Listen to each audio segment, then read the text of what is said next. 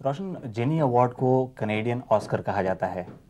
तो इस पुरस्कार का आपके लिए कितना महत्व है? है तो बहुत महत्व लेकिन ये आ, समझाना ज़रूरी है कि ये जो पुरस्कार है ये किसी जोरे का दिया हुआ नहीं है या किसी एक शख्स का या किसी इंस्टीट्यूशन का नहीं है। ये जो प्रोफेशन में लोग शामिल हैं ये वोट देते हैं कि इस साल जो भी फ़िल्म मेकिंग में है। जी उनमें कौन सा सबसे अच्छा है? डायरेक्शन किसका सबसे अच्छा है? या म्यूज़िक या एडिटिंग कई भाग हैं उसके। जी। और एक एक भाग में पुरस्कार दिया जाता है और मुझे इन्होंने एक्टिंग के लिए दे दिया है। और भी मतलब फ़िल्म हैं लेकिन तमाम दुनिया के नहीं है जहाँ तक मुझे मालूम है ये सब कनाडा के बने हुए हैं। और ये जो हमारी फ़िल्म है हम्म। ये कनाडा की बनी हुई है। प्रोड्यूसर वहीं का था डायरेक्टर वहीं का था लेकिन लेखक बम्बई का था। हम्म। अब कनाडा में रहते हैं रोहिंटन मिस्ट्री और तमाम आर्टिस्ट यहीं के हैं। जी। और फ़िल्म बनी है बम्बई में।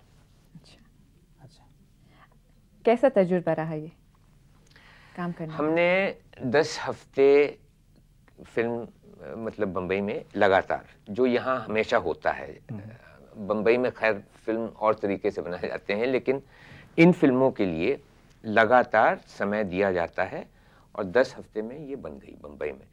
बहुत प्यारा तजुर्बा था हमारा। इसलिए कि मुझे रोल बहुत पसंद था। अच्छा। ये आम पारसी इंसान का रोल है। बैंक में काम करते हैं। दो तीन बच्चे हैं इसके बीवी और बहुत अज़ीज़ दोस्त हैं इनके दो तीन जो इस फ़िल्म में आते हैं। एक पारसी है सब पारसी हैं। और माहौल बम्बई का है। और बहुत मज़ा आया। लेकिन बम्बई में बाहर यानी कि स्टूडियो के बाहर काम करना बहुत मुश्किल है। क्यों? भीड़ बहुत है आवाज़ बहुत है। क्यों? यहाँ पे फ़िल्में जो बनती हैं वो सिर्फ़ कैमरा पे जो होता है तस्वीर ले लेते हैं। हम्म। साउंड जो है लेते हैं लेकिन बेकार साउंड है कोई काम करने डब बाद में करते वो हैं। बाद में करते हैं तो उसमें बहुत कुछ बहुत हानि होती है। अच्छा। काफ़ी इम्पैक्ट लूज हो जाता बहुत, है बहुत बहुत ज़्यादा। तो यहाँ साथ साथ जो उसी समय पे जो परफॉर्मेंस किया जा रहा है हम्म।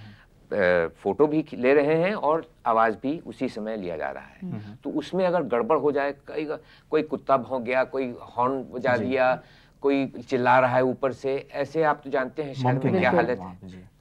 अच्छा रोशन आपके अभिनय का लोहा तो पूरी दुनिया मानती है लेकिन उस लिहाज से आपने इतने अच्छे इतने बढ़िया रोल्स नहीं किए क्या वजह रही? इतने बड़े रोल्स नहीं किए। अब ये भाई ऊपर वाला जानता है। मैं बहुत खुद सोचता हूँ इसके बारे में। दो तीन तो स्टेज पे मैंने अच्छे किए हैं हम्म। जो यहाँ पे लोग नहीं देख पाते हैं। हम्म। और भी टेलीविज़न पे एक दो अच्छे अच्छे हमने किए हैं। एक दो फ़िल्म भी ऐसे हुए हैं जिसमें रोल अच्छा था लेकिन यहाँ हमारे बाहर जो मैं काम करता हूँ कम दिखाए जाते हैं यहाँ। और आप खुद भी सिलेक्टिव रहे क्या? हाँ बहुत बहुत ही ज़्यादा। हमेशा मतलब कई मरतबे तो अब लोग ये नहीं जानते हैं सोचते हैं कि ये बहुत सिलेक्टिव आदमी है हम्म। झूठ है। कई बार मैंने ऐसे भी रोल्स किए हैं ऐसे भी काम किया है जहाँ बहुत ज़रूरी है मुझे पैसा भी कमाना है। तो कई अब कर लेते हैं सोचते हैं कि भाई जल्दी से जल्द लोग भूल जाएँ अच्छा ही है। और इसमें ये एडवांटेज है कि लोग अच्छा जो आप काम करते हैं उसी से याद करते हैं लोग। तो बुरा काम भूल जाते हैं। बिल्कुल। ये बहुत अच्छा है। अब कोई घर मकान बनाने वाला है लोग वही याद करेंगे कि इससे हम काम नहीं लेंगे।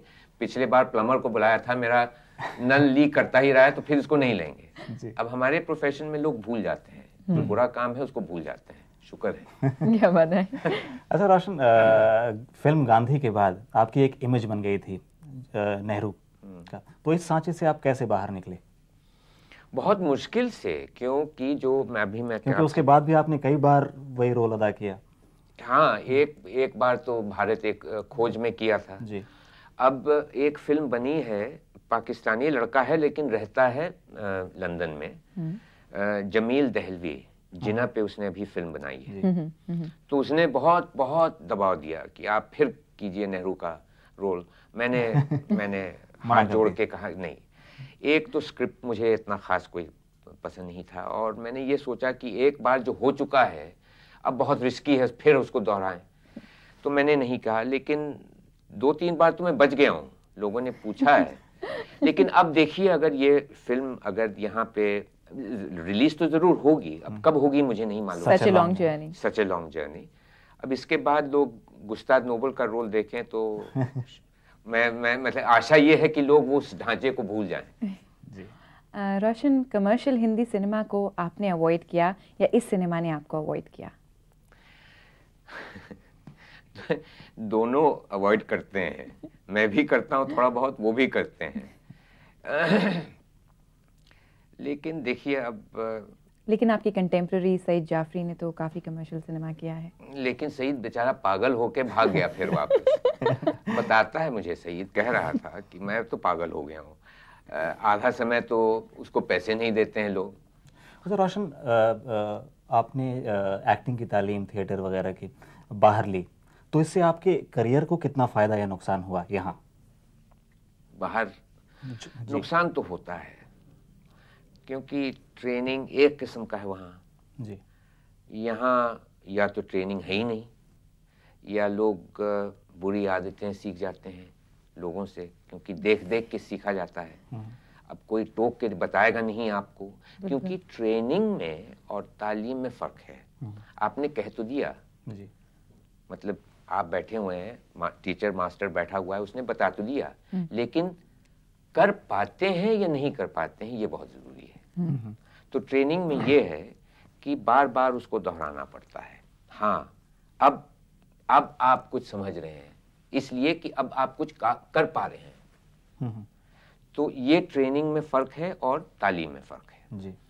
तो अब मुश्किल ये है कि वहाँ पे ट्रेनिंग अच्छी होती है उस माहौल के मुताबिक ट्रेनिंग दी जाती है। यहाँ माहौल बिल्कुल फ़र्क है। बिल्कुल।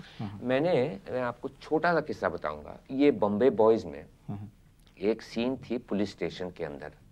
कैजाड नौजवान है उसको मैं जानता हूँ डायरेक्टर हम्म, तो एक दिन पुलिस स्टेशन के अंदर शूटिंग होने वाली थी लेकिन सेट था ऐसे जैसे आपका सेट खास असल मतलब पुलिस स्टेशन के अंदर नहीं सेट पे। तो मैं गया सुबह।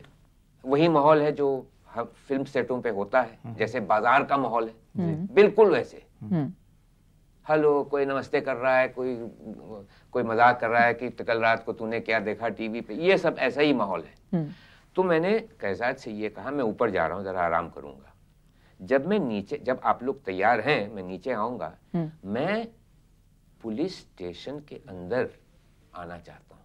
हम्म, फ़िल्म सेट पे नहीं आना चाहता हूँ। बिल्कुल। वैसा माहौल होना चाहिए।